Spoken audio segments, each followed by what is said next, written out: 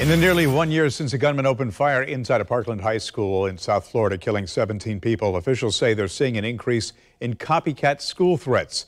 And this morning, a security sweep is happening at the La Villa School for the Arts here in Jacksonville in response to a threat to blow up that school. And also in St. Johns County, there's a 13 year old student facing felony charges after deputies say he threatened to shoot up Switzerland Point Middle School.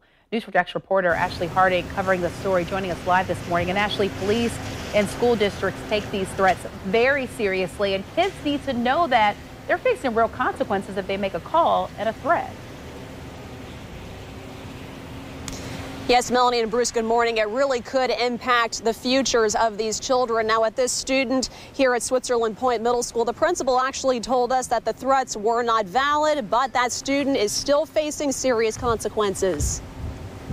In the months since the tragedy at Stoneman Douglas High School, lawmakers have changed the way districts and law enforcement handle school threats in Florida. And despite the changes, they still happen. The latest incidents occurred at La Villa School of the Arts in Jacksonville and Switzerland Point Middle School in St. Johns County. Deputies say the student at Switzerland made the threat in a group text message.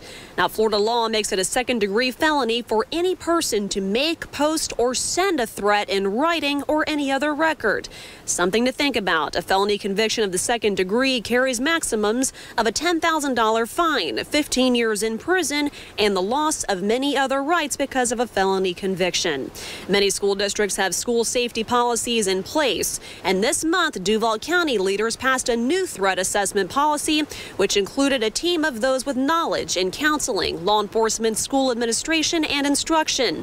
The team will ID students whose behavior may pose a threat to themselves or others others. They can also obtain criminal history of any student posing a threat. And what you're looking at live right here, this is the Fortify Florida app. You can actually download this through the Apple App Store or through Google Play. This is a new way for parents and students to report potential threats. Again, it's called Fortify Florida. You can download that through the Apple App Store or, or Google Play. Reporting live this morning, Ashley Harding, Channel 4, the local station.